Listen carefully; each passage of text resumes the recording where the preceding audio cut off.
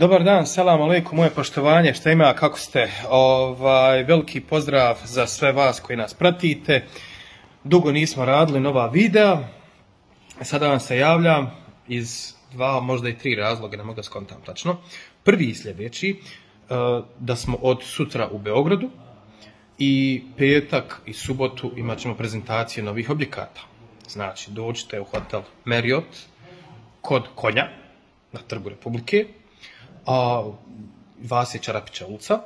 E, na našoj Facebook stranici imate tačno vremena kada ćemo održavati prezentacije. Drugi jako, jako bitan razlog je sljedeći, a to je da sam nedavno bio u Antaliji. I u Antaliji sam bio s razlogom, zato što nas svi pitate kada ćemo imati nešto za prodaju u Antaliji i tako dalje i tako dalje.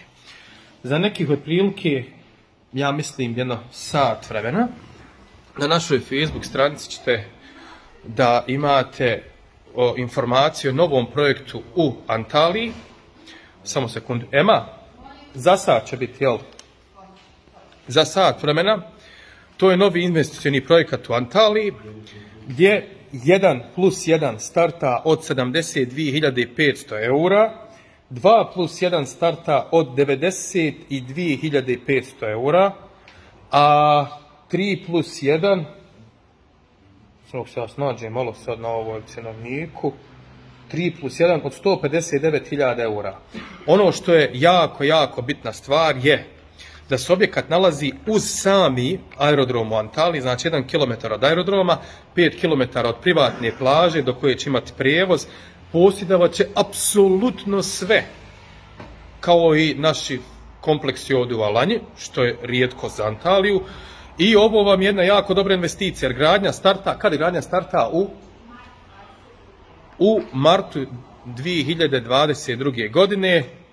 Ovaj, tako da, eto, pratite stranicu, javite nam se, evo imate mahanje od Eme, imate mahanje od Buraka, vidimo se, svako dobro vam želim, ovaj, ali ovo za Antaliju, ljudi moji, ovo ne trebate, stvar ne smijete da propustite, definitivno, ne smijete propustiti pod razno.